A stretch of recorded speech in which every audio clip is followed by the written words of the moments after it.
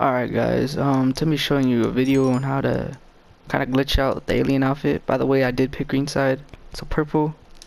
I got beef with you. Anyways, so you just want to uh, have the the alien suit out. I prefer green, but you just want to have that, and then you're gonna want to go to the, go to your outfits.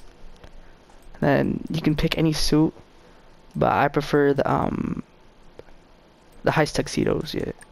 The ball. This is a pretty clean one. But you're gonna want to save this. So I'm gonna save it. I'm gonna save it for uh slot five or slot four, yeah. So here's what I'm gonna save it.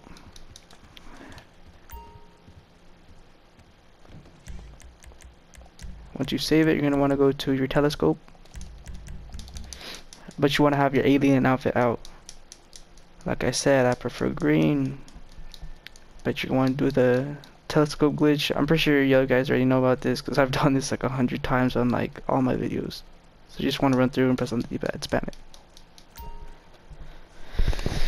And it should look like that. And then you're going to want to put on your tuxedo.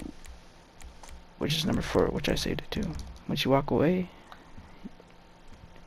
you will look like a beast. I prefer putting on some gloves so it looks more cooler. So I'm going on my gloves. Um, let's see. Which one I would prefer you guys? You can just put on the white surgical gloves. It doesn't even matter. As long as your skin isn't showing, or whatever you prefer, honestly. I'm not gonna stop you guys. But anyways, that's how you do it.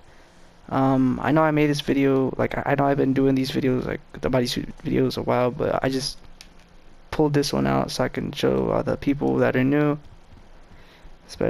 Especially since this, uh, the war's been going on, but, uh, yeah. See you guys later, and, uh, hope you guys subscribe. If you guys are green, subscribe. Peace.